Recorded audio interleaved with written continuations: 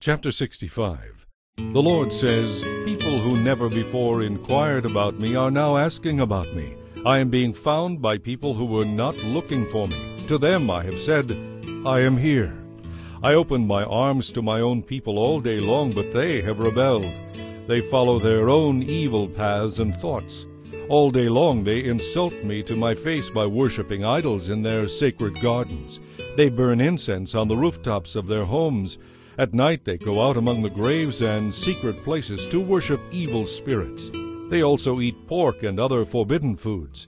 Yet they say to each other, Don't come too close, or you will defile me. I am holier than you. They are a stench in my nostrils, an acrid smell that never goes away. Look, my decree is written out in front of me. I will not stand silent.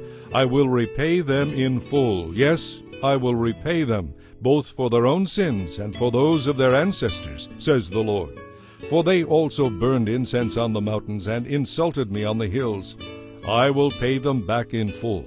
But I will not destroy them all, says the Lord. For just as good grapes are found among a cluster of bad ones, and someone will say, Don't throw them all away, there are some good grapes there, so I will not destroy all Israel. For I still have true servants there. I will preserve a remnant of the people of Israel and of Judah to possess my land. Those I choose will inherit it and serve me there.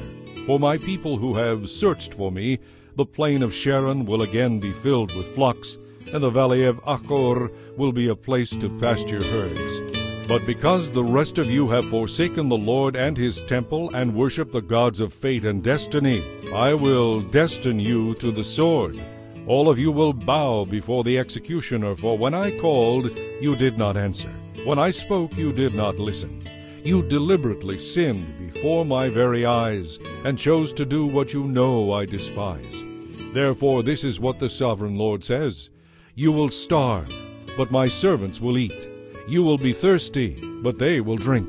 You will be sad and ashamed, but they will rejoice.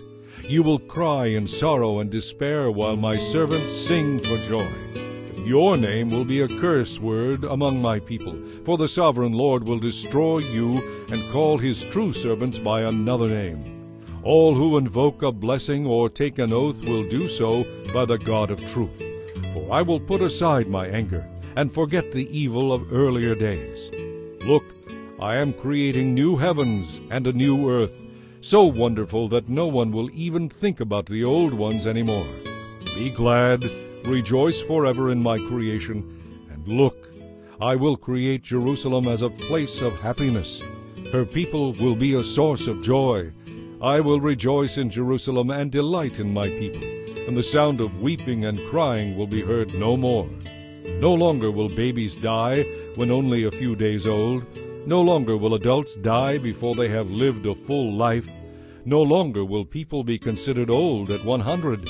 Only sinners will die that young. In those days, people will live in the houses they build and eat the fruit of their own vineyards. It will not be like the past, when invaders took the houses and confiscated the vineyards. For my people will live as long as trees and will have time to enjoy their hard-won gains. They will not work in vain, and their children will not be doomed to misfortune. For they are people blessed by the Lord, and their children too will be blessed. I will answer them before they even call to me. While they are still talking to me about their needs, I will go ahead and answer their prayers. The wolf and lamb will feed together. The lion will eat straw like the ox. Poisonous snakes will strike no more. In those days no one will be hurt or destroyed on my holy mountain. I, the Lord, have spoken.